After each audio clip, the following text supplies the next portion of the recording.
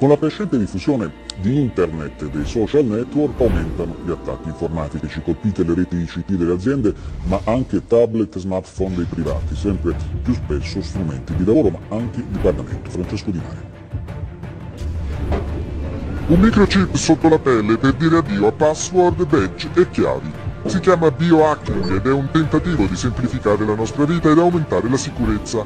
Chi lo sta sperimentando può sbloccare il telefonino, aprire una porta o trasferire dati solo avvicinando la mano ad un dispositivo dotato di tecnologia NFC a radiofrequenza.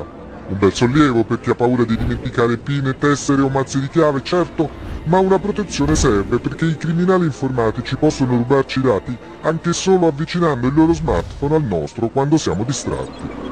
L'anno scorso software ed app dannosi hanno colpito 16 milioni di cellulari nel mondo, più 83% sull'anno prima, vista anche in genere la mancanza di difese.